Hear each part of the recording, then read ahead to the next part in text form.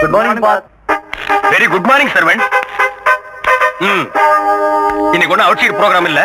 Coat suit எல்லாம் cancel இதை கொண்டு போப்பா. இது எந்த ஊர் silk German suit sir not German இது எந்த ஊர் silk Czechoslovakia sir no Czechoslovakia. ஆ இது? உஸ்பெஸ்கிஸ்தான் ஆ? Uzbekistan sir ah this only சாமிப்பா இந்த பட்டு துணி எல்லாம் யாராலையும் போட முடியாது. என்ன மாதிரி அந்தஸ்து தகுதி தராதர உள்ள ஒருத்தன் தான் போட முடியும்.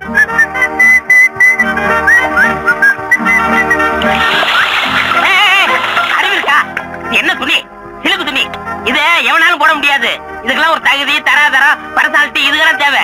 இதுல போய் தண்ணி அடிச்சா முட்டா. யாரா முட்டாளு? இரு இரு. என்ன பத்தி உனக்கு தெரியாது. நீ அடிச்ச ஒண்ணுக்கு பத்து. அதாவது நீ ஒரு அடி அடிச்சேன்னா எவனாவது உன்னை பத்து அடி அடிப்பான். இது எங்க முனியாண்டி சாபம். அதனாலதான் எந்த நாயா இருந்தாலும் என்னை கை நீட்ட கூடாது ஜாக்கிரதை good morning boss sorry boss வீட்டுல ஒரு ஃபங்க்ஷன் அதான் லேட் ஆச்சு பாஸ் கடைசி என்ன சொன்ன? லேட் ஆச்சு. அதுக்கப்புறம். லேட் ஆச்சு பாஸ் நான் பாஸ் நீயே நான் உங்க டிரைவர் இது என்ன துணி? இது சில்க் துணி பாஸ் நீ போட்டிருக்கிறது என்ன துணி? இது சில்க் நான் பாஸ் சில்க் போட்டிருக்கேன். நீ யாரு? டிரைவர் இன்னொருக்கா சொல்லு. ஓட்டுநர். நீ சில்க் போடலாமா? பாஸ் நீங்களும் காக்காயி ஒண்ணாக முடியுமா? நீயும் அதுவும் வேணும் ஒண்ணாகலாம் அதுக்கு இல்ல பாஸ் எதையே திங்க் பண்ணி திங்க் பண்ணி பாக்குறோம் பொண்ணுலயே இருபத்தி நாலு கேரக்டர் இருக்கு காக்கா பொண்ணு இருக்கு. நீங்க போட்டுக்கிறது இருபத்தி நாலு கேரக்டர். நான் இந்த காக்கா குருவி அதெல்லாம் விடுறா. பாக்குறவங்க கண்ணுக்கு ரெண்டு சிலுக்கா தானே தெரியும். பாஸ் என் பெரிய நகைச்சி நிச்சயதார்த்தம். பழைய கடையில போய் ஏலத்துக்கு எடுத்து என் வாழ்க்கையிலேயே இப்பதான் சிலுக்கு போடுறேன். போட்டுட்டல்லடா. சொல்றீங்க? இன்னைக்கு ரெண்டுல ஒரு முடிவு தரணும். ஒண்ணு நீ போடு சிலுக்கு இல்ல நான் போடுறேன். பாஸ் பாஸ் நீங்க போடுவீங்க. நீங்க போடுங்க. கழட்டு. கழட்டு. அவர்ற வேட்டிய. இந்த புடி. என்னது? புடுறா. இனிமே உன் வாழ்க்கையில என்கிட்ட டிரைவரா இருக்க வரைக்கும் சிலுக்கு மட்டுமல்ல சட்டையே போடக்கூடாது. பார்த்தவேடா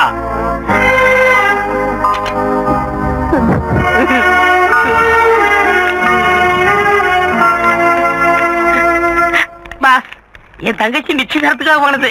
அதை கொளுத்தி என் சென்டிமெண்டே ஃபைல் பண்ணிட்டீங்களே. குணச்சித்திர கேரக்டரா இங்க பார். இந்த தங்கச்சி சென்டிமெண்ட் என்ன டச் கூட பண்ணாது. என் தங்கச்சி கூட தான் நிச்சயார்த்தம் பண்ணிருக்கேன். மாப்பிள்ளை யார் தெரியுமா? நேபாள் இளவரசன் இந்த கல்யாணத்துக்கு அப்புறம் நான் கூட ஒரு மகாராஜாடா? என் ஸ்டேட்டஸ் குறுக்க எந்த மேட்டர் வந்தாலும் இதே மாதிரி கொளுத்திடுவேன். இறங்க. உங்க மச்சான் விட்ட பாருங்க.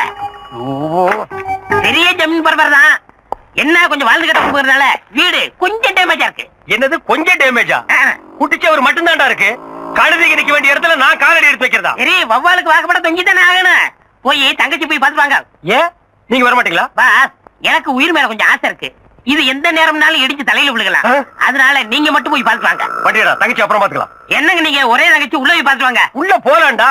ஆனா வெளியில வருவனாங்கிற சந்தேகமா இருக்க. அது உங்க தலையெழுத்து. அப்ப நீயும் வா. வண்டி. வண்டி இங்கே தான் இருக்கு வா.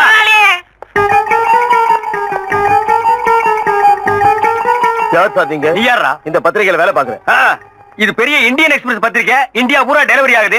இதுக்கு ஒரு ஆபீஸ் ஒன்பது அடி இடத்துல ஒரு வாட்ச்மேன் கையடா ஏங்க மச்சான உள்ள போய் பார்த்து வாங்க டேய் மச்சாங்க சேனா அப்பிடுவேன் நான் என் தங்கச்சி தான் பார்க்க வந்தேன். அந்த வேணா நீ போய் பாரு போடா.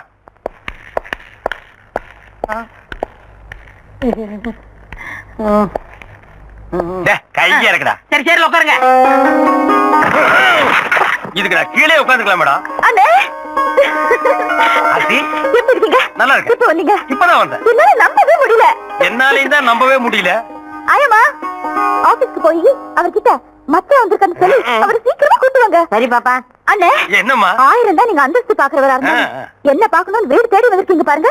இதுதான் தங்கச்சி பாசம். முதலாளி! இப்பதான் ஒரு கல்லு விழுந்திருக்கு. ம். அம்மா நீ பாசத்தை காட்டு நான் வேண்டான்னு சொல்ல. அடிக்காம காட்டு என்ன. யாருங்க இது? எங்க அண்ணன். அண்ணியே. இல்ல எங்க அண்ணன். அண்ணியே. அதான் அவங்க அண்ணன் சொல்றாங்கல்ல நடங்க. அப்ப ஜெய்கின் சொல்ல சொல்லு. ஜெய்கந்தா சொல்லு. சொல்லிருங்க முதலாளி. காலையில ஒரு தடவை என்ன கடிச்சு வச்சுட்டேன் என்னது? கடிச்சு வச்சுட்டாரா? சொல்லு. ஜெய்ஹிந்த் கேட்கல. லண்டன்ல இருக்கிற வெள்ளைக்காரனு கேட்கணும். சொல்லு. லண்டனுக்கு எல்லாம் ட்ரங்கால் போட்டு தான் சொல்லு. ஹலோ ஜெய்ஹிந்த் நடங்க நடங்க. வந்தே மாதரம். வந்து. யாரும்மா இந்த ஆளு? அவரோட தாத்தா அவர் சுதந்திர போராட்ட தியாகி அப்ப மென்டல் ஆனவரம் அப்படியே செட்டில் ஆயிட்டாராக்கும் அம்மா ஆசிரியரோட லெட்டர் பேட் உள்ள இருக்கான். அதை கொஞ்சம் எடுத்து கொடுங்க. அண்ணா ஒரு நிமிஷம். என்ன வேலை செய்யற? ஆ? இதுல இது வேறயா என்ன வேலை செய்யற? உதவி ஆசிரியர் ஸ்டெனோ பிஏ இங்க எல்லாமே நான் தான் சுருக்கமா சொல்லணும்னா இந்த ஞான பழத்துக்கு நான் தான் ஒரு பெரிய தூண். நீ ஒரு தூண் பத்தாது. இந்த மாளிகைக்கு பல ஆயிரம் தூண் வேணும். உனக்கு எவ்வளவு சம்பளம்? ஆ, மூணு வேளை சோறு ஒரு வேளை மூக்கு பொடி. மூக்கு வாய் எல்லாம் ஒண்ணும் தெரியலையே. இதுல பொடிய வாங்கி எதுல விடுவ? அரைச்சே நீ பேசுற. அவரை சீக்கிரமா வர சொல்லுங்க. சரிங்க. அப்புறம் என்ன? நல்லா இருக்கீங்களா? நான் நல்லா தான் இருக்கேன். ஐயோ நான் ஒருத்தி தொண தொணன்னு பேசிக்கிட்டேன். கொஞ்சம் இருங்க. உங்க குடிக்க ஏதாவது எடுத்துட்டு வரேன். குடிக்கிறதுக்கு ஏதாவது உள்ள இருக்கா? என்ன ஜோக் அடிக்கிறீங்க? கஞ்சியோ கூட கொடுப்பாங்க. மனம் கூடாம கடகடன்னு அடிச்சிருங்க. இல்லன்னா தங்கச்சி இதே தாங்காது. அத குடிச்சா ஏன் உயிர் தாங்காதுடா. அம்மா எதையும் கொண்டு வந்து அதை நான் குடிச்சிட்டேன்.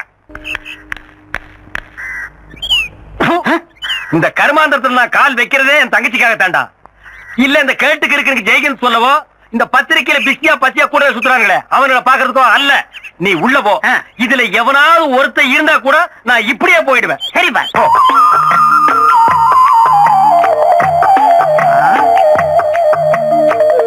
வேலை யாரும் இல்ல.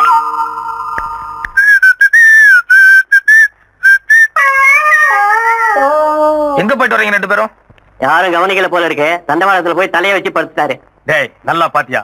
நான் சொன்னவனுக்கு எவனுமே இல்லையே. ஒரு ஈக்காக கூட இல்ல. வாங்க பாஸ் போலாம். சரி நீங்க போங்க. அஞ்சு அஞ்சு பாக்கி பாஸ் என் கண்ணையே என்னால நம்ப முடியலையே. அதை புடிங்க வெளியேறிடா. வாங்க. உட்காரு. அடே, டே, டே, வாங்க வாங்க வாங்க வாங்க வாங்க? உட்காருங்க உட்காருங்க. ஜாயிப்பா காந்தி மாதிரியே சட்டை இல்லாம இருக்காரு. நல்லா கால் மேல கால் போட்டு உட்காரு. உட்காரு. தாத்தா ஒரு சின்ன வேலை இருக்கு உள்ள வாங்க. ஏண்டா? சட்டை போடலன்னா நீ காந்தியா? அவர் என்ன சொன்னாரு. அவன் கிறுக்க சொல்லுவா. நீ எப்படி சேர்ல உட்காரலாம்? உட்காரட்டு அவர் அடிப்பாரு. இப்ப நான் அடிப்பேன். இங்க பாருங்க. முனி அடிச்சா ஒண்ணுக்கு பத்து. சரி போடா. பாஸ். போடா. அசையாத ஒரு அடி அசைஞ்ச உன்னை உயிரோட எரிச்சிடுவேன். தாத்தா வந்தே மாதரம். நீ நடிக்கிற உதட்டளவுல பேசுற உள்ளத்துல உணர்ச்சி இருந்தா இப்படி அந்நிய சிலுக்குல குறுக்குவியா? உன்னை விட மாட்டேன் அரியா சிறுவன் தெரியாம பண்ணிட்டான். ஒரு பிச்சைக்காரனுக்கு பிச்சை போட மாட்டீங்களா. சும்மா இருங்க. அதே மாதிரி உயிர் பிச்சை கொடுங்க தாத்தா. அவனை ஒழிக்கணும்னு எனக்கு எண்ணம் இல்ல அந்நிய துணியை ஒழிக்கணும். அதனால தாத்தா இருங்க. உங்களுக்கு துணி கொடுத்துடும் அவ்வளவுதானே? உங்களுக்கு உயிர் முக்கியமா? துணி முக்கியமா? என்னடா சொல்ற? உயிர் மேல ஆசை இருந்தா துணியை கழட்டிருங்க. இந்த சனினே எனக்கு வேண்டாம். வந்தே மாதரம் வந்தே மாதரம்.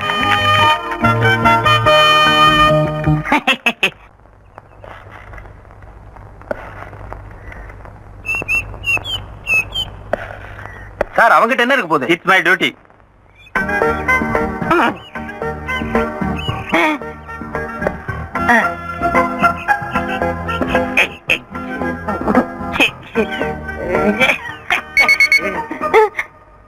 உள்ள என்ன இருக்கு? ஒரு முக்கியமான சமாச்சாரம் வச்சிருக்கேன். சத்தம் வருது? சத்த வரத்தம் செய்யும் அல்ல இல்ல எங்கிட்ட காணிச்சாதான் உள்ள போக முடியும். யோ இவர் யாரு நினைச்ச? மந்திரியோட சம்மந்தியா நிஜமோ? பின்ன எங்களே செக் பண்றியா? சாரி சார் பாஸ் நீங்க போங்க. டேய் இல்லடா பாக்கெட்ல என்னடா வச்சிருக்க? பாஸ் பாக்கெட்டுக்குள்ள ஓட்ட அப்புறம் எப்படி மிஷின்ல கீ கீனு சத்தம் வந்தது? அது மிஷின்ல வரல பாஸ் ஆ. எனக்கு கொஞ்சம் கேஸ் ட்ரபிள் அஜிஜோ ஏங்க யாருங்க நீங்க? டேய். யோ அமைச்சரோட சம்மதி ஆ, அமைச்சர் சம்பந்தியா இருந்தாலும் பரவாயில்ல. யாரும் மேல போக கூடாது அனாவசியமா. டேய். யோ அமைச்சர் சம்மந்தி சொல்லியாச்சு. எங்க போனா உனக்கு தள்ளியா? நீங்க மேல போனா என் மேல போயிருங்க. வேலை. போட்டு கொடுப்பாரு. ஐயோ வேண்டாங்க வேண்டாங்க சொன்னா கேளுங்க. This room or this room கண்ணு எழுந்து பாத்ரூம் குழப்பாமா இங்க பாரு பாப்பா. நானா வந்து கதவு தட்டுற வரைக்கும் எந்த காரணத்தை கொண்டு நான் கதவு தரக்கூடாது அவ்வளவுதானே? நோ ப்ராப்ளம் கில்லாடி பொண்ணு சம்பந்தி! சம்மதியா உள்ள போய் பேசலாம் வாங்க. இல்ல இங்கே பேசலாம் என்ன? உள்ள போய் பேசலாம் வாங்க. இல்ல இங்கே பேசலாம் சொல்லுங்க. உள்ளதான் பேசணும் போங்க சம்பந்தி அடங்க. ஐயோ இரியா இது என் பெட்ரூம்யா இத நான் கோயில் மாதிரி வச்சிருக்கேன். என்ன தவிர வேற யாரும் இங்க அலோவ் பண்ணது இல்ல எதுவா இருந்தாலும் கீழே போய் பேசலாமா கீழே ஏகப்பட்ட கூட்டம் இருக்கு. குடும்ப நாயத்தை போய் கூட்டத்துல வச்சு பேச முடியுமா? காது காது வச்ச மாதிரி வாய் வாய் வச்சு பேசுவோம் வாங்க. அடுங்க இல்ல உட்காருங்க. சரியா என்ன எழவு நியாயமோ? அதை சீக்கிரம் பேசி இடத்த காலி பண்ணி தொலையா? நீங்க பெரிய மனுஷரு அப்படி எல்லாம் பேசக்கூடாது. உங்களுக்கு ஒரே மகரு என் மச்சாரு ஞான சூரியரும். அவர் சின்ன வயசு ஏதோ தெரிஞ்சோ தெரியாமலோ தப்பு பண்ணிட்டு போயிருக்கலாம். நீங்க பெரிய மனுஷரு அதையெல்லாம் மனசுல வச்சுக்க மன்னிச்சிட்டு அவரை கூட சேர்த்து கூடாதா? சேர்த்துங்க சம்பந்தி. சம்பந்தி சேர்த்துங்க. அவர் சேர்த்ததுக்கு அப்புறமாவது உங்க மண்டையில முடி முளைக்குதான்னு பாப்போம் சேர்த்துங்க. சேர்த்துங்க சம்பந்தி. சம்பந்தி சேர்த்துங்க. சேர்த்துக்கு. அடியா சேர்த்துக்கிறேன். நீ முதல்ல புற யோ உன் கூட வந்து ஒருத்தங்க நின்னுதானே? அவன் எங்கே காணோம். அது பாத்ரூம்ங்களா? ஆமா. அதான். நீங்க பெட்ரூம கோயில் சொன்னீங்கல்ல அவன் பாத்ரூம பூஜை ரூம் நினைச்சு உள்ள நுழைஞ்சிட்டான். அங்க ஏதாவது சக்தி வாய்ந்த தெய்வம் இருந்தா அவனுக்கு என்ன தேவையோ அதை வேண்டிட்டு வருவான்ல? வந்துட்டான். சமந்தி பையன் இவ்வளவு கிளியடிச்சு மாதிரி வர்றான் உள்ள ஏதாவது குட்டிச்சாத்தா இருக்கா? மூஞ்சிய பாருங்க பேயறிஞ்சு மாதிரியே வர்றான் கண்ணு ராஜா உள்ள ஏதாவது காத்துக்கரு பார்த்து பயந்துட்டியா? பேசுடா பேசுடா சம்பந்தி பேச மாட்டேங்கிறா நான் உள்ள இருக்குன்னு பாட்டு வந்தேன் இல்ல நான் சொல்றேன் இருக்கு இல்ல உள்ள என்ன இருக்குன்னு தெரிஞ்சாதான் பதிலா நான் ட்ரீட்மெண்ட் கொடுக்க முடியும் இல்லைங்க அது நான் சொல்றேன் அவன் டிரைவர் இல்ல என் குடும்பத்தோட உள்ள என்ன இருக்குன்னு பார்க்காம நான் விட மாட்டேன்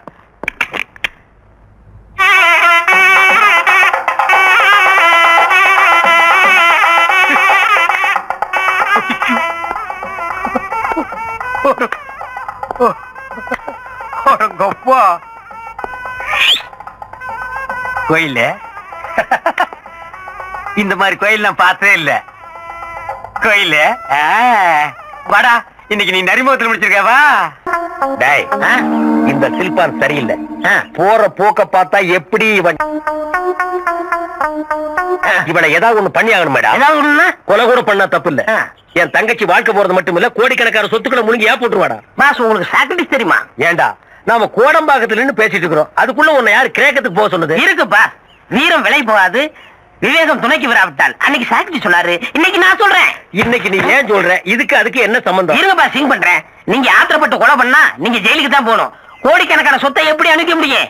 அதனால இவள்கிட்ட இருந்து உங்க பச்சனை காப்பாத்தணும்னா ஒரே வழி இவளை நீங்க ரேப் பண்ணிருங்க. ஆமா பாஸ் அவளை கெடுத்துருங்க. ஏய் கொலை பண்ணிட்டு ஜெயிலுக்கு போனாலும் ஒரு கௌரவம் இருக்கு. ஓ ரேஞ்சுக்கு என்ன இறக்கி விடுறியாடா? இல்ல பாஸ் நான் சொல்ற கேட்டா ஒரே கல்ல மூணு மாங்க அடிக்கலாம். நீ பிஞ்சு அடிக்கவே லாய்க்கல மூணு மாங்க எப்படிடா நிச்சயமா மூணு மாங்க அடிக்கலாம். என் குறி தப்பவே தப்பாது. கேளுங்க மாங்கா நம்பர் ஒன்று. நீங்க அஞ்சாம் கிளாஸ் அதோட செவ்வாதசம் அதனாலதான் இது வரைக்கும் யாருமே உங்களை கல்யாணம் பண்ண வரல. இவளை நீங்க ரேப் பண்ணிட்டீங்கன்னா வேற வழியே இல்லாம உங்களை கட்டிக்கிருவா. சோ ஒரு படிச்ச பொண்ணு உங்களுக்கு சம்சாரமா வருவா. ஓகே ஓகே மாங்கா நம்பர் டூ அவளை நீங்க கட்டிக்கிறீங்கன்னா உங்க தங்கச்சிக்கு என்ன முறை ஆகுது? அந்நிய முறை ஆகுது. சோ உங்க மச்சான் பக்கமே அவ திரும்ப மாட்டா. ஓகேடா மாங்க நம்பர் த்ரீ மா no no no no no அது சஸ்பென்ஸ் காலம் கழியும் போது சொல்றேன்.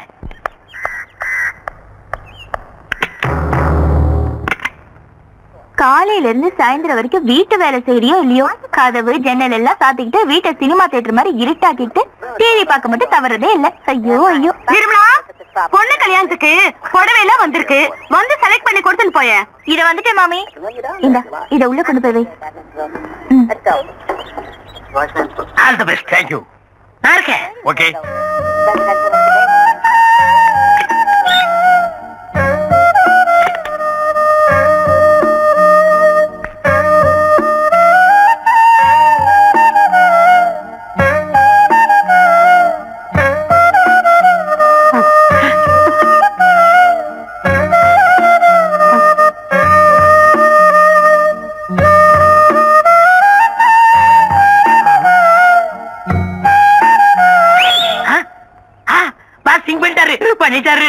ஐயோ ஓடியாங்களே ஓடியாங்களே ஆபத்து ஆபத்து ஓடியாங்களே. ஓடியாங்க ஓடியாங்க. கிளிக்குண்டுல பூனை பூந்துருச்சு. நந்தவனத்துல நல்ல பாப்ப பூந்துருச்சு. பட்ட பொருள்ல ஒரு கன்னி பொண்ணு தனியா இருக்கிற தெரிஞ்சுக்கிட்டு ஒரு கொடும்பாவி படுபாவி உள்ள போய் தாள் போட்டாயா ஆமா ஆள் உள்ள போய் எவ்வளவு நேரமாச்சு? அதெல்லாம் ஆகுற நேரம் ஆகி போச்சு பார்த்தா அம்மங்கோல் தர்மகர்த்தா மாதிரி இருக்கார். இந்த பெரிய மனுஷனா தப்பு பண்ணிருப்பார் தப்பு பண்ணிட்டு தான் வர்றேன். பாத்தியா என் சட்டை எப்படி கசங்கி இருக்குன்னு? அவன் நெத்தியில் இருக்கிற போட்டு பாரு. எங்க ஒட்டி இருக்கு எங்க ஒட்டி இருக்கு முப்பத்தஞ்சு வருஷமா ஆஞ்சநேயர் பக்தனா இருந்தையா என்னைக்கு இந்த அழகு தேவதையை பார்த்தனோ அன்னைக்கே என் பிரம்மச்சாரிங்கிற கப்பல்ல சின்ன ஓட்ட விழுந்துச்சுமா ஆளே பொண்ணை கெடுத்தேன்னு ஒத்துக்கிட்டான். நீங்களும் அவன்கிட்ட நியாயத்தை கேட்டுக்கிட்டு இருக்கீங்க. கூப்பிடுங்கய்யா போலீஸ. யோ அவர் என்ன தாலி கட்டப்படுன்னு சொன்னாரா? கட்டுறேன். வர சொல்லு. வா மயிலு. வா. பாருங்கய்யா. என் அழகு தேவதைய பாருங்கய்யா. நான் கெடுத்த ஜோடி கிளிய பாருங்கய்யா. இந்த பொண்ணத்தாயா நானு. இது இல்ல. இது வேற. இது பொண்ணு இல்ல. இத நான் கெடுக்கவும் இல்ல. கதவெல்லாம் சாத்திக்கிட்டு ஒரு பொண்ணை கதற கதற கெடுத்தது இல்லாம இப்படி மனுஷ தன்மை இல்லாம வாய்க்குசமா போய் சொல்றியே. நான் மோசம் போயிட்டேன். நான் வச்ச குறி தப்பிருச்சு. நான் மானுக்கு வலை விரிச்சேன். அதுல மந்தி வந்து விழுந்துருச்சு. யானை குழி வெட்டினேன். அதுல பூனை வந்து படுத்துருச்சு. இதுக்கு முன்னால அந்த பொண்ணை பார்த்ததும் இல்ல. அவளை நான் கெடுக்கவும் இல்ல. வரேன் சார். இது வரைக்கும் காதல் கப்பல் ஓட்டகிட்டேன்னு கதை விட்டுட்டு இவனை நான் தான் கெடுத்தேன்னு ஒத்துக்கிட்டு இப்ப கெடுக்கலன்ட்டு ஓட பாக்குறியே நாங்களா என்ன கேளையனா ஆமாண்டாடா ஏன் அந்த அருவாள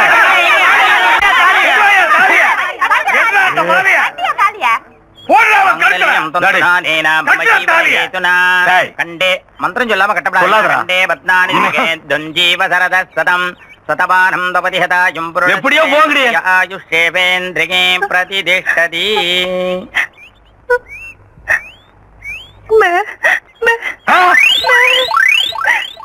என்னது பேபேவா இது வேறயா?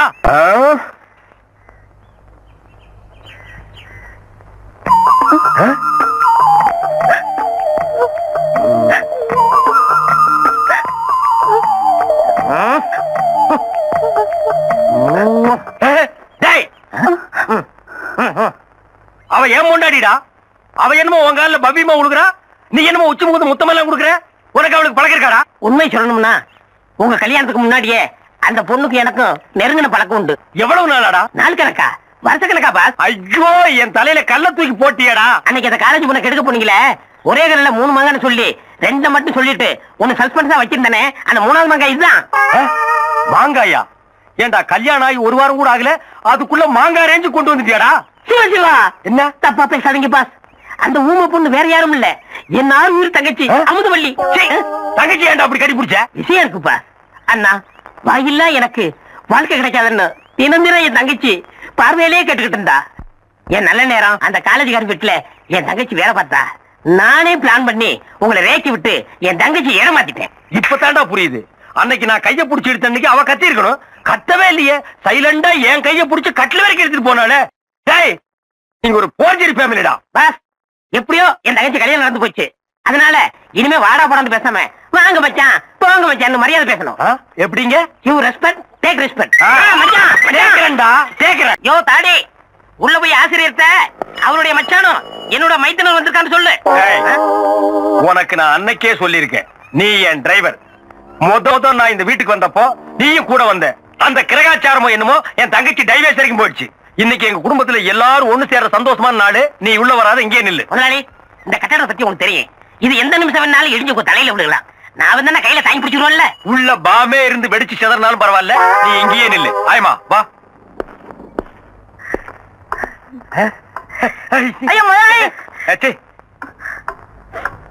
வாங்கண்ணே.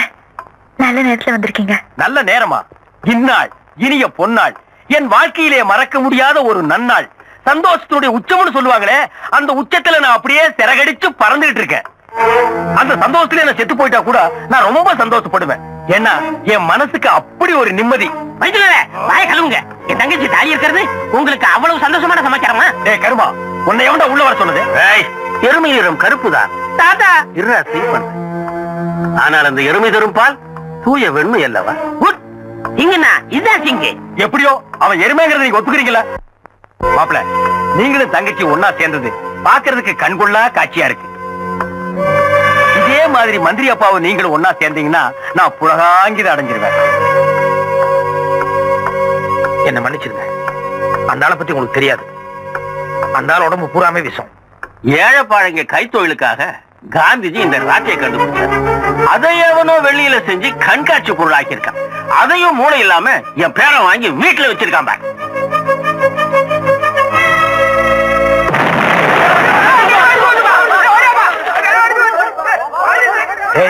அநேகமா வீட்டோட முன்பகுதியே இடிஞ்சு விடுது அந்த சத்தம் தான் இது. இந்த பகுதி இடிஞ்சு விடுவதற்குள்ள நான் பின்னால் ஓடி போயிருவோம் அப்ப காரு. காரி நேரம் சட்னி ஆயிருக்கு. நம்ம ஹெலிகாப்டர் வாங்கிக்கலாம். வாடா. வானவரையா பாடுறி. போற்றி பாடிடி பெண்ணே. தூக்கம் போடிடி கண்ணே. தேவர் காலடி மண்ணே. அப்படித்தாண்டா ராஜா. தக்கதசாண்ட உங்க கிழக்கு தேசிய நோண்ட. ஏண்டா? இது என்ன சினிமா தியேட்டரா?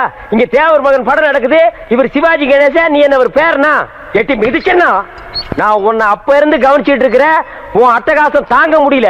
ஒரு ஜான் இருந்துட்டு இவ்வளவு நீ பண்ற. என்ன அவ்வளவு அல்பமா நீ நினைச்சிடாத? உரி கட்டி தொங்குதல்ல. அதுல இருக்கிற சட்டி இறக்கி வச்சுட்டு உன்னை உட்கார வச்சு முடிச்சிருவேன் போடா. என்ன விளையாடுறீங்களா நீங்க?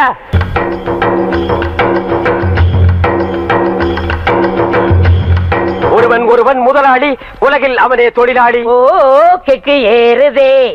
ஒருவன் ஒருவன் முதலாளி உலகில் அவனே தொழிலாளி. ஓ வெக்கம் போனதே. உனக்கு எப்ப வெக்க இருந்தது? பிறக்கும் போதே வெக்கத்தை விட்டுட்டாண்டா பிறந்த. எச பாட்டு பாடுறியா நீ?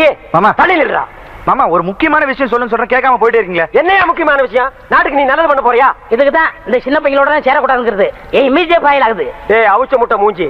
உனக்கு இமேஜின் ஒண்ணு இருந்து அது ஸ்பாயில் ஆயிடுச்சா? யாரோட சின்ன பசங்க என்ன? என்ன நான் சொல்றத விளையாட்டாவே பாருங்க என்ன என்ன ஆடம் கொன்னியா!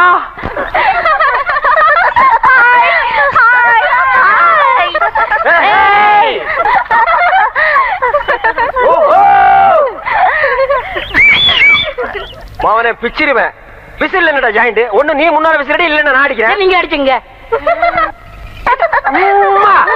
மாமா நீங்க திருந்தவே மாட்டீங்களா? என்னைய சொல்றது கேக்குறது? ஐயோ முன்னாடி போயிட்டா நல்ல கட்டியெல்லாம் முடிச்சுக்குவா ஊட்டியா? Sir sir sir. ஐயா வாங்க வாங்க உட்காருங்க உட்காருங்க உட்காருங்க. அம்மனே ஒரு கிளாஸ் மோர் கொண்டு வா இல்லாட்டி காப்பியாவது கொண்டு வா சீக்கிரம். ஐயா நீங்க இந்த வீட்டு ஓனரை பார்க்கணும். ஓனர் ஓனர் நான் தானுங்க. இந்த வீடு இதை சுத்தி இருக்கிற முப்பது ஏக்கரா தோட்டம் பூமி எல்லாம் நம்மளுக்கு தானுங்க மாசம் மாசம் ஒழுங்கா கரண்ட் பில் கட்டிடுங்க மாசம் மாசம் வரி கட்டிடுங்க அபிசரியா நீங்க? அது நான் ஆபீசர் இல்ல. வேலை தேடி வந்திருக்கேன். என்னது? வேலை கட்டு வந்தியா? அங்க ஒப்பமான. மாலை சொல்றது எனக்கு கேடு வாயில கொலக்கட்டை வச்சிருந்தேன் இல்ல சார். நான் முதல்லயே சொல்லலாம்னு நினைச்சேன். அதுக்குள்ள நீங்க காஃபி ஏதோ கொண்டு வர சொன்னீங்க. சரி குடிச்சிட்டு சொல்லலாம். எந்திரி மேல. வேலை கேட்கற லட்சணம் பாரு கொஞ்சம் கூட மறுவாதம் இல்லாம.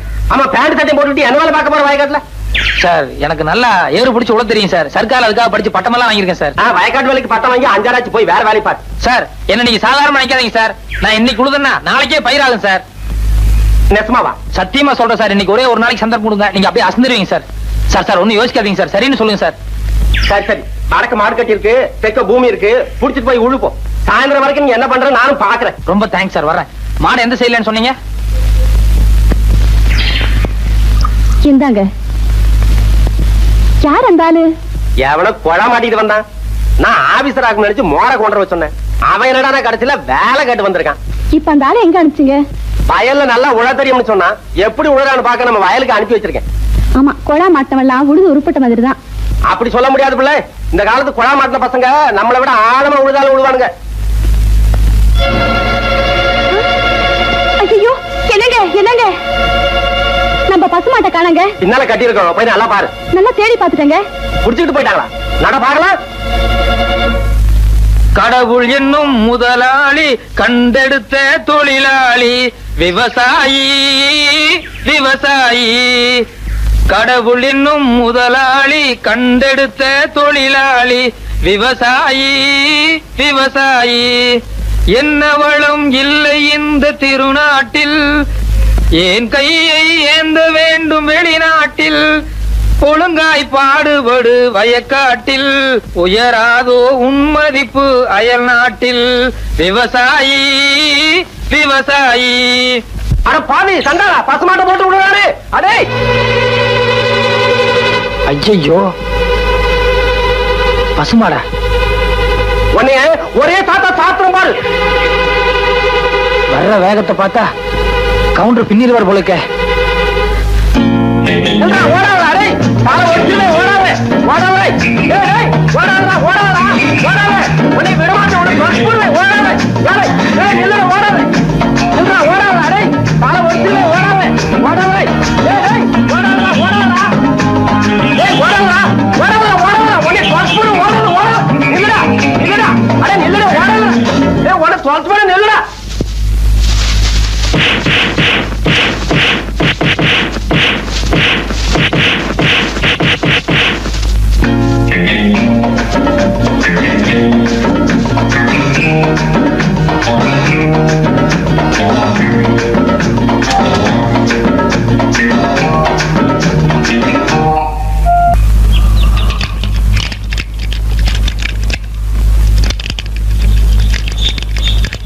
வணக்கம் சார். சைக்கிள்லாம் வெளியே போயிருக்குங்க. சைக்கிள் இல்ல. இல்லைங்க. எனக்கு ஒரு வேலை வேணும். வேலையா? ஆமாங்க. நான் மெட்ராஸ். டிஐ சைக்கிள் கம்பெனில வேலைக்கு இருந்திருக்கிறேன். சைக்கிள் ஓவர் ஆயிலிங் பஞ்சர் போடுறது வீல் பெண்ட் எடுக்கிறது எல்லா வேலையும் எனக்கு தெரியும். அப்படியா? எனக்கு கூட ஒரு ஆளு தேவைதான். சம்பளம் என்ன எதிர்பார்க்கறீங்க? வேலையை பார்த்துட்டு நீங்களே போட்டு கொடுங்க. இது சின்ன கிராமம். வண்டி அந்த அளவுக்கு ஓட்டம் இல்ல. இஞ்சி மிஞ்சி கொடுத்தா ஒரு ரெண்டு ரூபாய் கொடுக்கலாம். சரிங்க. இந்த பாருங்க தம்பி காசு விஷயத்துல நான் கரெக்டா இருப்பேன். அதே மாதிரி வேலை விஷயத்துல நீங்க கரெக்டா இருக்கணும். சரிங்க. தேங்க்ஸுங்க போங்க. அந்த வீலுக்கு பெண்ட் எடுங்க. முருகா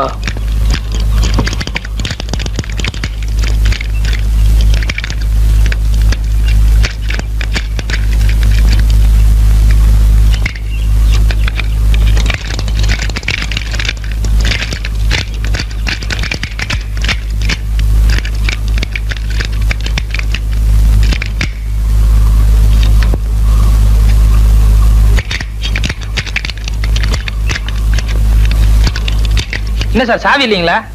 அதையும் தம்பி கேக்குறீங்க.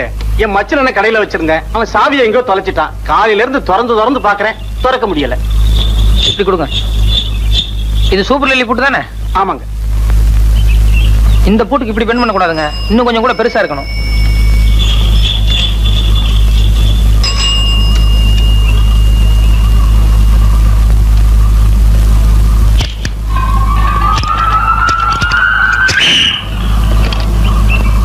Okay sir. அப்பா மோராசா கொஞ்சம் இப்படி வாங்க. ஏன் சார்? வா. அந்த ரெண்டு ரூபாய் கொடுங்க. ஏன் சார் அஞ்சு ரூபாய் தர போறீங்களா? ஆமா. ரொம்ப நல்ல மனசு சார். போயிட்டு வாங்க. ஏன் சார்? இந்த பூட்டை இவ்வளவு சீக்கிரம் திறந்த உனக்கு கல்லாப்பட்டியை திறக்க எவ்வளவு நேரம் ஆகும்? சார் நான் வந்து நீங்க கேட்டீங்களா சார் திறந்தேன் இல்ல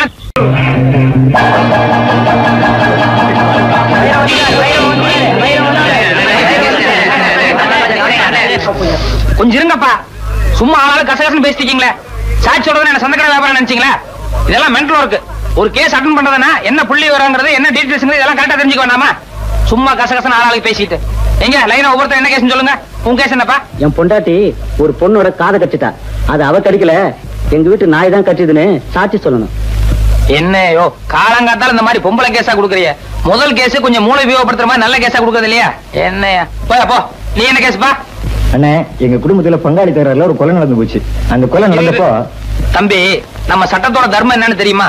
ஆயிரம் குற்றவாளிகள் தப்பிச்சுக்கலாம். ஆனா ஒரு அப்பாவி கூட மாட்டிக்கூடாது. ஒருவேளை நான் ஏதாவது பொய்சா சொல்லி அதுல எந்த அப்பாவையாவது மாட்டிட்டு ஜெயிலுக்கு போனேன்னா அது எவ்வளவு பெரிய பாவம். அதனால கொலை கேஸுக்கெல்லாம் நான் பொய்சா சொல்ல மாட்டேன். வேற ஆளை பாருங்க. உங்க கேஸ் என்ன சொல்லுங்க? சார் நான் ஒரு ஆளுக்கு கடன் கொடுத்திருந்தேன். அதை திருப்பி கேட்டதுக்கு அந்த ஆள் செருப்பால அடிச்சிட்டான். அதனாலதான் கேஸ் கொடுத்தேன். அடிச்சாள் வந்து ஒரு ரவுடி. இத கண்ணால பார்த்ததா யாரும் சாட்சி சொல்ல முன்னுக்கு வர மாட்டேன்றாங்க. இப்ப நான் வந்து அந்த ரவுடி உங்களை செருப்பால் அடிச்சான்னு சொல்லிட்டு சாட்சி சொல்லணும். ஆமா சார். ரைட் ஓகே இது கொஞ்சம் சுவாரஸ்யமான கேஸ் தான். சார் உங்க கேஸ் எல்லாம் இன்னொரு நாளைக்கு பாக்குறேன். நீங்க கிளம்புங்க. வாங்க டீடைல்ஸ் பேசுவோம். கேஸோட டீடைல்ஸ் எல்லாம் கொஞ்சம் விவரமா சொல்லுங்க பார்க்கலாம். சம்பவம் எத்தனை தேதி நடந்தது? இருபத்தி ஆறாம் தேதி சார். எத்தனை மணிக்கு நடந்தது? காலையில பதினோரு மணிக்கு சார். எந்த இடத்துல? வடபழனி பஸ் ஸ்டாண்ட்ல சார் சம்பவம் நடந்த அன்னைக்கு உங்களை அடிச்சானே ரவுடி. அவன் என்ன கலர் ட்ரெஸ் போட்டிருந்தான்? கருப்பு சட்டை வெள்ளை பேண்ட் சார் நீங்க என்ன ட்ரெஸ் போட்டிருந்தீங்க? வெள்ளை சட்டை வெள்ளை வேஷ்டி சார் உங்களை அடிச்சானே? அது சப்பல்ஸா இல்ல டயர்ஸ் இருப்பா செப்பல் சார் சப்பல்ஸா ஓகே ஒரு நூறு ரூபாய் எடுங்க. கேஸ் முடிச்சுட்டீங்க சார் யோ நான் அட்டன் பண்ணாலே ஜெயிச்ச மாதிரி தான். காசு எடு. தயங்காம அடிய ஆமா என்ன குறுக்கு விசாரணை செய்ய போற அந்த வக்கீல் பேர் என்ன? நல்ல கண்ணு சார். நல்ல கண்ணுவா? அந்த ஆளுக்கு என்ன பார்த்தாலே கை எல்லாம் விட விடாங்க. தைரியமா நட. வைரவன் வைரவன் வைரவன். ஐயோ கேஸோட எல்லா டீட்டெயில்ஸும் கேட்டோம். ஆனா அடிச்ச செருப்போட கலர் கேட்க மறந்துட்டோமே. ஒருவேளை வக்கீல் குறுக்கு விசாரணை அதை கேட்டானா சரி சமாளிப்போம்.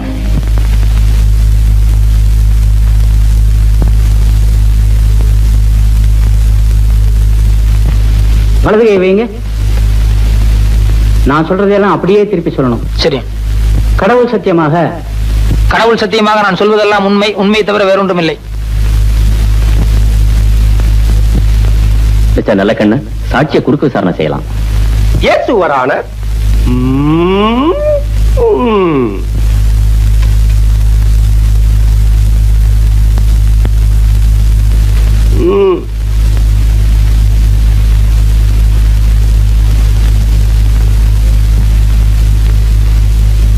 உமது பெயர்தானே பைரவன்? இல்ல சார் மயிலாட் இந்த வழக்கின் முக்கியமான சாட்சியே பைரவன் தான். ஆனால் இங்கு வந்திருப்பது வேறு நபர். இதிலிருந்தே தெரிகிறது இவர் செட்டப் செய்யப்பட்ட பொய் சாட்சி என்று. என் பேரு பைரவன் இல்ல Vairavan.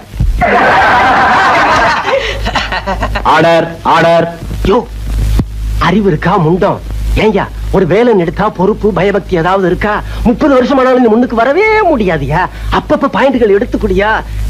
தடுமாறல்ல yes proceed mister Vairavan உமது தொழில்? வெளியூர்ல இருந்து யாராவது மெட்ராஸ்க்கு வந்தாங்கன்னா அவங்களுக்கு மெட்ராஸ் எல்லாம் சுத்தி காட்டுறது. Oh you mean tourist guide நம்ம தொழிலை விட இந்த தொழில் பெட்டர்ல அடுத்த கேள்வி கேளுங்க. எமது கட்சிக்காரர் உமது கட்சிக்காரரை வெறுப்பால் அடிக்கும் போது நீ பார்த்தீரா? வெறுப்பால் இல்ல செருப்பால். செருப்பால் அடிக்கும் போது நீர் பார்த்தீரா? பார்த்தேன். அடுத்த கேள்வி என்னய்யா? செருப்பால எந்த இடத்துல அடிச்சான்னு கேளுங்க. எந்த இடத்தில் அடித்தார்? கண்ணு காது மூக்குன்னு ஏகப்பட்ட இடத்துல அடிச்சிட்டாருங்க. No no. நான் அந்த இடத்தை கேட்கவில்லை. ரோட்டிலா வீட்டிலா காட்டிலா தோப்பிலா? எந்த இடத்தில் அடித்தார்? பஸ் ஸ்டாண்ட்ல அடிச்சாருங்க. எந்த bus stand Vadapalani bus stand பதிமூணு ஏ போகுமே அதுவா? இல்ல சார் டுவெல் பி போகும்போது அந்த பஸ் ஸ்டாண்டு யோ அறிவு கிட்ட முண்டம். ஆள மடக்கிறது மாதிரி ஒரு கேள்வி சொல்லியா. சம்பவம் நடந்தப்போ ரெண்டு கட்சிக்காரங்களும் எந்த கலர்ல ட்ரெஸ் போட்டிருந்தாங்கன்னு கேளுங்க போங்க. குட் குட் மிஸ்டர் வைரவன் மாலையில் சம்பவம் நடந்த போது சார் சம்பவம் காலையில தான் நடந்தது குட் சும்மா ஒரு டெஸ்டுக்காக கேட்டேன். காலையில் சம்பவம் நடந்த போது எமது கட்சிக்காரர் என்ன கலர் ட்ரெஸ் போட்டிருந்தார்? வெள்ளை சட்டு வேஷ்டி. வெட்டியின் நிறம் என்ன? வேஷ்டினா வெள்ளை தானே சார்? உமது கட்சிக்காரர் என்ன கலர் ட்ரெஸ் போட்டிருந்தார்? கருப்பு சட்டு வெள்ளை பேண்ட் கூலிங் கிளாஸ் போட்டிருந்தாரா பவர் கிளாஸா ரெண்டுமே போட மாட்டார். வந்து போய் கேட்டு வாங்க. நீ எல்லாம் என் குமாஸ்தாவா இருக்க லாயக்கே இல்லையா? அவன் எதை கேட்டாலும் கரெக்டா சொல்லிடுறான். ஏதாவது ஒரு பாயிண்டா சொல்லியா. அடிச்ச செருப்பு என்ன கலர்னு கேளுங்க. போங்க. ஆக மிஸ்டர் வைரவன் எமது கட்சிக்காரன் உமது கட்சிக்காரரை செருப்பால் அடிக்கும் போது நீ பார்த்திருக்கிறேன் ஆமாம். உண்மையாக உண்மையாக. நிஜமாக நிஜமாக. உறுதியாக உறுதியாக. நிச்சயமாக நிச்சயமாக. சத்தியமாக. சத்தியமாக. அப்படியான அடித்த செருப்பு நிறம் என்ன? சொல்லுங்க. அது சொல்லுங்க. ஏய், வரல. சொல்லுங்க. சீக்கிரம். சீக்கிரம். லேட் ஆகுது எனக்கு கோத்தாரவர்களே லேட் ஆகுது ஆ, சீக்கிரம். அடித்ததை நேரில் பார்த்திருந்தால் அதன் கலர் தெரிந்திருக்கும் அல்லவா? சொல்லுங்க. சொல்லுங்க.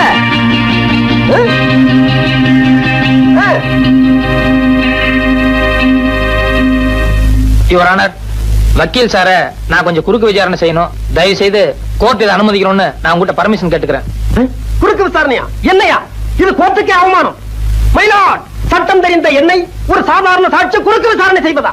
எனும் கோத்தாரவர்கள் இதை ஒரு காலம் அனுமதிக்கவே கூடாது. இல்ல சார் இந்த கேஸுக்கு இந்த விசாரணைக்கும் நெருங்கிய சம்பந்தம் இருக்கு. அத விசாரணையோட முடிவுல நீங்களே தெரிஞ்சுக்குவீங்க. அதனால தயவு செய்து எனக்கு பர்மிஷன் கொடுக்கணும். பர்மிஷன் வேண்டாம் தேங்க்யூ சார் வக்கீல் சார் கொஞ்சம் இந்த பக்கம் திரும்புங்க. குமாஸ்தா அவர் வேண்டாம் அவர் போக சொல்லுங்க. இருந்துட்டு போட்டுமே சொன்னா கேளுங்க சார் அவர் சீட்டு போக சொல்லுங்க அவரை. பத்து பதினஞ்சு வருஷமா கூடவே இருக்கான் அதனால என்ன ஒரு பத்து நிமிஷம் பேஞ்சா தப்பு இல்ல நீங்க முதல்ல போங்க சார் அங்க. குமாஸ்தா கொஞ்சம் இப்படி திரும்ப இல்லைங்க கொஞ்ச நேரத்துக்கு பின்னால திரும்ப கூடாது. நான் கேட்கிற கேள்விக்கு மட்டும் பதில் சொல்லணும். என்ன? நீதிபதி காலையில இருந்து எழுதிட்டு இருக்காரு. அவருடைய பேனா கலர் என்ன? திரும்ப கூடாது. என்ன பார்த்து பதில் சொல்லுங்க. அவர் பேனா என்ன கலர் சொல்லுங்க. வந்து வந்து அது வேற என்ன கலர்? வந்து காலையில நீங்க கோர்ட்டுக்கு வந்து ரெண்டு மணி நேரம் ஆச்சு. ரெண்டு நிமிஷத்துக்கு ஒரு தடவை ஜட்ஜை திரும்பி திரும்பி பாத்திருக்கீங்க அப்படி இருந்து பேனா கலர் உங்களுக்கு தெரியாதா? கோர்ட்டுக்கு வந்தால் கேஸ்களிலும் பாயிண்ட்களிலும் தான் என்னுடைய கவனம் இருக்க வேண்டுமே தவிர பேராவின் நிறத்தை பற்றி நான் கவனிக்க வேண்டிய அவசியம் இல்லை. கரெக்ட் கோர்ட்டுக்கு வந்த உங்களுக்கு கேஸ்ல மட்டும் தான் கவனம் இருக்கும். பேனாவை நீங்க கவனிச்சிருக்க முடியாது. அப்படி இருக்கும்போது பஸ் ஸ்டாண்ட்ல ரெண்டு பேர் செல்ஃப் அடிச்சு தகராறு பண்ணிட்டு இருந்தா அவங்கள விளக்கிட்டு பண்ண தவிர ஒரு பேப்பரும் பேனா எடுத்து வச்சு என்ன கலர் செல்ஃப் அடிச்சா நான் நோட் பண்ணுவேனா?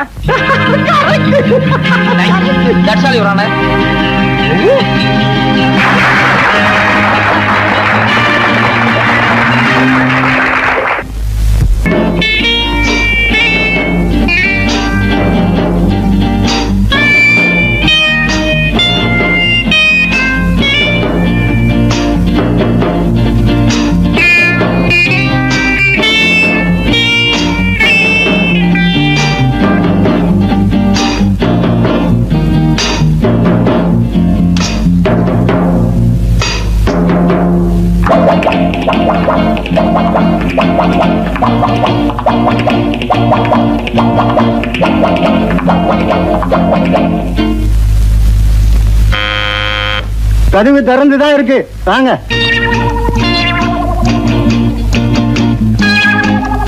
Good morning sir good morning good morning bathroom cleaning ஆமா கொஞ்ச நேரத்துக்கு முந்தி தான் ஒருத்தன் பாத்ரூம் க்ளீன் பண்றேன்னு வந்தான். சார் இது ஃபைவ் ஸ்டார் ஹோட்டல் அதனால எவ்ரி half அன் அவர் அடிக்கடி நாங்க க்ளீன் பண்ணுவோம். ஆமா அப்ப வந்தவன் காக்கி சட்டை போட்டுக்கிட்டு தோட்டி மாதிரி இருந்தான். நீ என்னடானா கலர் சட்டை போட்டுக்கிட்டு மைனர் மாதிரி வந்து நிக்கிறியப்பா. சார் அவங்க எல்லாம் படிக்காதவங்க. அதான் காக்கி சட்டை போட்டிருந்தாங்க. நான் வந்து எம்ஏ வரைக்கும் படிச்சிருக்கேன். அதான் கலர் சொக்கா எல்லாம் போட்டிருக்கேன். எம்ஏ வரைக்கும் படிச்சவனா? அப்ப நீ நல்லா தான் க்ளீன் பண்ணுவ போ போ. க்ளீன் பண்ணது கொஞ்சம் நேரம் ஆகும். ஒன்னும் ஒண்ணும் நினைக்க மாட்டேன். சுத்தமா க்ளீன் பண்ணு போ. நல்ல காலம் ஜோதிட வார இதழ் ஆசிரியர் புலியூர் பாலு.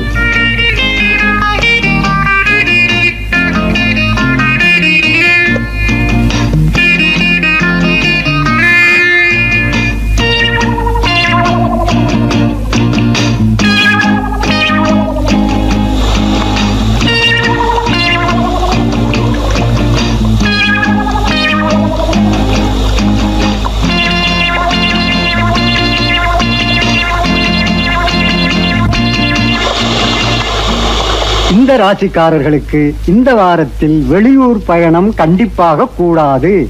ஏனெனில் வெளியூர் பயணம் செல்வதனால் எல்லா பணத்தையும் இழந்து சொந்த ஊருக்கு கால்நடையாகவே செல்லும் நிலை ஏற்படும்.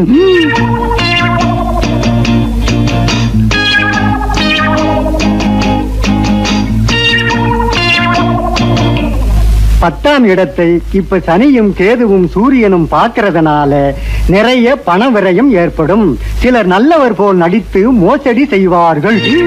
ஆக இன்னைக்கு நம்ம நிலைமை சரியில்லை.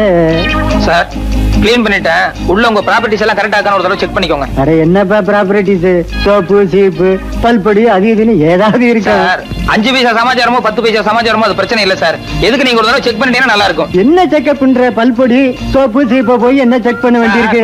நாளைக்கு ஏதாவது ஒண்ணு காணாம போயிடுச்சுன்னு சொல்லி நீங்க ரிப்போர்ட் பண்ணீங்கன்னா எனக்கு உத்தியோகம் போயிடும் தயவு செய்து ஒரு தடவை செக் பண்ணிக்கோங்க. என்னப்பா அதை விட மாட்டேன்ற? வாங்க சார் செக் பண்ணுங்க ப்ளீஸ். வாங்க என்னைக்காவது திடீர்னு ஒரு நாளைக்கு நீங்க வருவீங்க. அப்புறம் கடைசியில் உத்தியோகம் போயிடுச்சுன்னா ரொம்ப ஆபத்தாயிரும்ல நல்லா செக் பண்ணிக்கோங்க. நல்லா இருக்கா இது? ஏய், ஏன்டா கதவை சாத்துற? டே கதவை சாத்தாதடா. டே கதவை தரடா. அப்பதான் நினைச்சேன் உன் பாத்ரூம் கிளீன் பண்ற மாதிரி தெரியலையே. நான் நினைச்சதெல்லாம் சரியா போச்சு.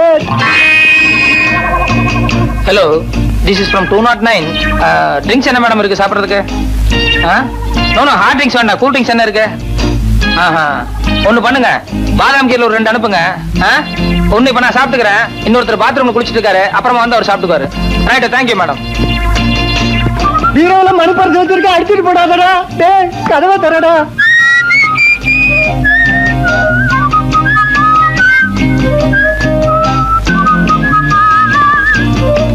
மெத்த செடியில வைரம் வைரம் வச்சிருக்கேன்டா. டேய்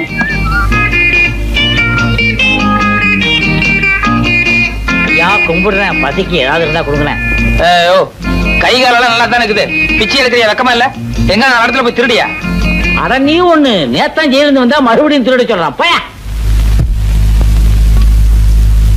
கும்பிடுறானுங்க. ஊரு புளியம்பட்டி என் பேர் பண்டாரம். சினிமாவில் ஆயிட்டு கொடுக்கலான்னு வந்தேன். ஒருத்தன் எம்ஜிஆர் தெரியும் சிவாஜி தெரியும்னு கூட்டிட்டு போய் கையில இருந்த பணத்தையும் காசையும் புடிங்கிட்டு விட்டான். இப்ப சாப்பிட்டு மூணு நாள் ஆச்சு. கொஞ்சம் பணம் கொடுத்தா எங்க ஆச்சி டவுன பக்கம் வரும் கொடுத்து அனுப்புறேன்.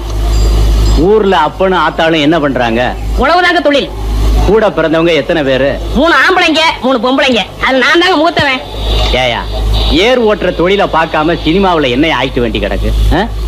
வீட்டுக்கு மூத்தவன்னு சொல்ற. கூட பிறந்த தங்கச்சிகளுக்கு கல்யாணம் பண்ணி வைக்கணுங்கிற பொறுப்பே இல்லையே. எல்லாம் தலை விதியா.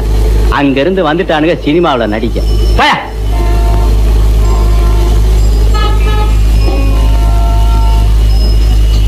கும்பிடுறனுங்க. நல்லாரு நல்லாரு. ஊர் புளியம்பட்டி என் பேர் பண்டாரம் சினிமாவில் ஆயிட்டு கொடுக்கலாம்னு. என் சொந்த ஊர் வேப்பம்பட்டி. நானும் உன் கேஸ் தான்.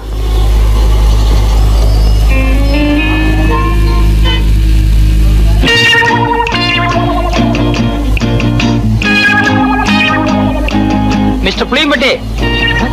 உங்களை தான் சார்? நானா சார்? வாங்க. நீ வாங்க.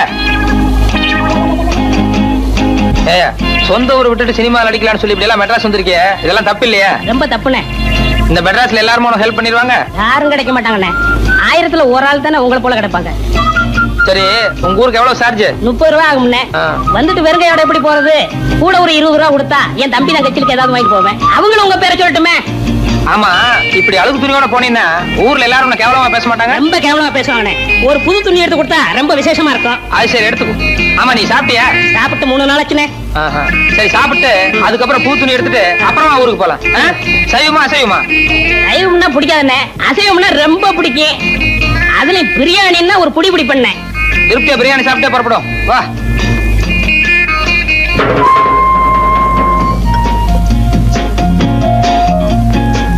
என்ன சாப்பிடுற? சூடா என்ன இருக்கு? அறை இருக்கு. ஏயா நேத்துல இருந்து ஒண்ணுமே சாப்பிடல ஒரே ஒரு இட்லி வாங்கி கொடுத்தா போதும் இப்ப சூடா கேக்குதோ? இல்ல ஆ? சாப்பிடுறோம். கொஞ்சம் சூடா சாப்பிட்டா நல்லா இருக்குமே. அதான் கொஞ்சம் இடம் கொடுத்தா போதுமே. தலைக்கு மேல ஏறிடுவீங்களே. என்னப்பா என்ன இருக்கு? Parotta biryani chicken fry chicken masala fish item ginger chicken chilli chicken mutton fry mutton masala omelette நீ புதுசா? ஆமாங்க. அதான் திணறேன் சரி நான் சொல்ற மாதிரி செய்யு ரெண்டே ரெண்டு புரோட்டா மட்டும் எனக்கு எடுத்துக்கோ. இப்பதான் நான் வீட்டுல சாப்பிட்டு வந்தேன். இவருக்கு சிக்கன் பிரியாணி மட்டன் மசாலா அப்புறம் முட்டை பரோட்டா அப்புறம் மீன் கருவாடு. இன்னும் என்னென்ன இருக்கோ மனம் போல கொண்டு வா. சரிங்க அண்ணே சத்தியமா சொல்றேன்னே. என் வாழ்க்கையில உங்களை மறக்கவே மாட்டேன்னே. இது சத்தியம்னே. கவலையே படாத. நீ என்ன மறக்கவே முடியாது. ஏன்னா இந்த அளவுக்கு மெட்ராஸ்ல உனக்கு யாரும் செய்யவே முடியாது. அண்ணே ஊருக்கு போய் பணம் அனுப்புறேன்னே உங்க அட்ரஸ் கொடுங்கண்ணே. அட்ரஸா நோ நோ நோ, எனக்கு விளம்பரம் எல்லாம் பிடிக்காது. நான் எப்பவும் பிரதிபலன் எதிர்பார்க்க மாட்டேன். சில நேரங்களில் அதான் தேடி வர்றது உண்டு இன்னும் நேரம் ஆக ஆக என் பெருந்தன்மையை பத்தி நீ தாராளமா புரிஞ்சுக்குவேன்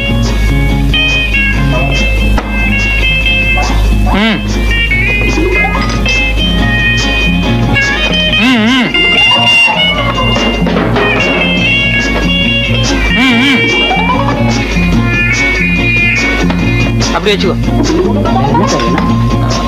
வேற கீழே பெட்டி கடைக்கு போய் ஒரு பாக்கெட் ஃபில்டர் வில்ஸும் ஒரு தீப்பெட்டி வாங்கிட்டு வா. காசு சார் யோ கல்லால போய் காசு வாங்கிட்டு போய. எல்லாத்துக்கும் சேர்ந்தாப்புல பில் போட்டுக்கலாம். சரி, சார். ஓ என்ன? ஆறிட போகுது. சாப்பிடலாமா? எல்லாம் உனக்கு தாயா மனம் போல சாப்பிடு.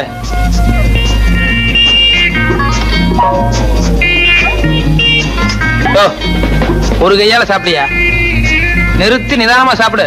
ஒன்னும் அவசரமே இல்ல.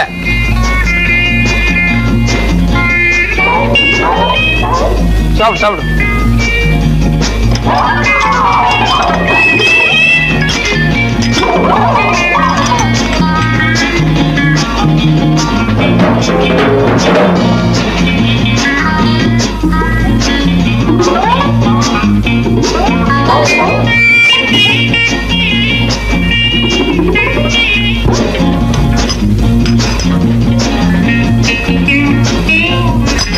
சார் பில்லு ஏயா கொஞ்சமா மேனேஜ் இருக்கா? ஏசி ரூம்ல உட்கார்ந்து சாப்பிட்டு வரணும்ல? என் கூட வந்தவர் உள்ள சாப்பிட்டு இருக்காரு கொஞ்சம் கூட டீசென்ட் எல்லாம் பில்லு கேக்குறியா? சாரி சார் நீங்க இங்க சாப்பிட்டீங்கன்னு நினைச்சிட்டேன். பரவாயில்ல. இதுக்கு தான் என் பிரஸ்டீஜ் தகுந்த மாதிரி பெரிய ஹோட்டலுக்கு போகணுங்கிறது. இந்த மாதிரி ஒன்றைய ஹோட்டலுக்கு வந்து இப்படி தான் இருக்கும். எக்ஸ்கியூஸ் மீ நீங்க போங்க சார் இனிமே இப்படி பிகேவ் பண்ணாத. பரவாயில்ல போங்க. ஆ வாங்க. வாங்க. மெதுவா. போ சார் சார் சத்தியமா அந்த ஆளு யாருன்னு தெரியாது சார். என்னை ஏமாத்தி இங்க கூட்டிட்டு வந்துட்டான் சார். பொய்யாடா சொல்றேன். அறுபது ரூபாய் இருபது பைசா பில் ஆகுது. சார் தினம் இவனுக்கு ஒரு வேளை சாப்பாடு போட்டு ஒரு மாசத்துக்கு மேல வாங்கணும். நீ சாப்பிட்டது கூட பெருசு இல்ல. உன் கூட வந்தானே தோஸ்து. அவன் என் ஹோட்டலை பார்த்து ஒன்றே ஹோட்டல்னு சொல்றான்.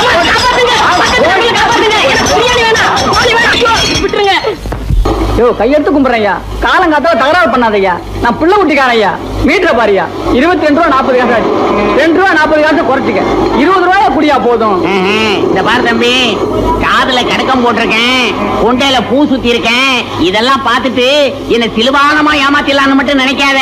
அதுக்கு வேணான பாரு. நான் எங்கேயோ உன்னை ஏமாத்துறேன். நீ நாயா என் வயிற்றுல அடிக்கிற. கொஞ்சம் யோசனை பண்ணி பாரியா. காலையில ஆறு மணிக்கு வண்டியில ஏறினேன். இப்ப மணி எட்டு ஆகுது. ரெண்டரை மணி நேரமா பையன் படிக்கிற காலேஜ் பர்மா பஜார் பீச்சுன்னு சுத்தினேன். மீட்டர்ல இருபத்தி ரெண்டு நாற்பது காசு ஆகாதையா. யோ என்ன என்ன அள்ளி முடிஞ்சவன் நினைச்சிட்டு இருக்கியா? என் சொந்த ஊர் ஆண்டக்காம்பாளையம் அங்கிருந்து கோயம்புத்தூர் பத்து மைல். கோயம்புத்தூர்ல இருந்து மெட்ராஸ் முன்னூத்தி அறுபத்தஞ்சு மைல். ஆக மொத்தம் முன்னூத்தி எழுபத்தஞ்சு மைல். நேற்று ராத்திரி தான் கோயம்புத்தூர்ல இருந்து புறப்பட்டு இங்க வந்து இறங்கியிருக்கேன். ரயில்வே கட்டணம் எவ்வளவு தெரியுமா? இருபத்தி எட்டு ரூபா முப்பது காசு. ரயில்ல ஃபேன் இருக்கு படுக்க பெஞ்சு இருக்கு பேச்சு துணைக்கு ஆள் இருக்கு கக்கூஸ் இருக்கு. இவ்வளவு வசதி செஞ்சு கொடுத்து பன்னிரெண்டு மணி நேரம் விடிய விடிய ரயில ஓட்டி காலையில கொண்டாந்து விட்டுருக்கான் அவனே இருபத்தி எட்டு ரூபா முப்பது காசு வசூலி பண்றான். நீ என்னடான்னா இந்த மெட்ராஸ்ல இருக்கிற பர்மா பஜாரு என் பையன் படிக்கிற காலேஜ் அங்க இங்கன்னு சுத்தி ரெண்டு மணி நேரம் உன் வண்டியில இருந்ததுக்கு இருபது ரூபா கேட்கிற யாரு அப்பா நீ சம்பாத்தியம் பண்ணதுன்னு நினைச்சிட்டு இருக்கேன் என்ன என்ன இழுச்ச வாயன்னு நினைச்சிட்டு இருக்கியா ஓஹோ ஓ காலங்கத்தால ஏயா கழுத்த இருக்கிற எனக்கு ஒரு ஆத்திரத்துக்கு ஐயோ. ஐயோ ஆட்டோக்காரர எவனாவது ஒருத்தன் கிராமத்துல இருந்து மெட்ராஸ் வந்தா இப்படித்தான் மிரட்டா அவர் கொடுக்கறத வாங்கிட்டு போயா? ஏன் அப்படி எல்லாத்துக்கும் தகராறு பண்றீங்க? மெட்ராஸ் பேரையே கத்துறீங்க போல இருக்க. பாத்தியா? யோ நமக்குள்ள என்ன தகராறு ஏதுன்னு சாரிக்காத அந்த ஆளு. வந்த உடனே எவ்வளவு பெரிய நியாயம் சொல்லிட்டு போறாரு பாத்தியா? அவர் பெரிய மனுஷனா நீ பெரிய மனுஷனா? ஐயோ! யோ உன்கிட்ட பேசுறது எனக்கு சக்தி இல்லையா? இப்ப எவ்வளவு சாயா தர்றேங்கிற? இந்த பாரு தம்பி நான் இருபது ரூபா தர்றதுன்னா சேலத்துல கொண்டு போய் விட்டுரு. அங்கிருந்து எட்டு ரூபாய் தான். நான் போய்க்கிறேன். இங்கேயே இறங்குறதுன்னா ரெண்டு ரூபாய்க்கு மேல ஒரு பைசா தர மாட்டேன் ஐயோ இன்னைக்கு யாரு முகத்துல முடிச்சனோ? ஐயோ ஐயோ. இந்தாயா வச்சுக்கையா. இந்தாயா வச்சுக்கையா. போயா ஊர் வைத்தாரியா சாப்பிட்டு சாப்பிட்டு என் பேர சொல்லி ஊர் போயா நல்லா இரு, நல்லா. போயா. ஐயோ ஐயோ ஐயோ ஐயோ ஐயோ ஐயோ.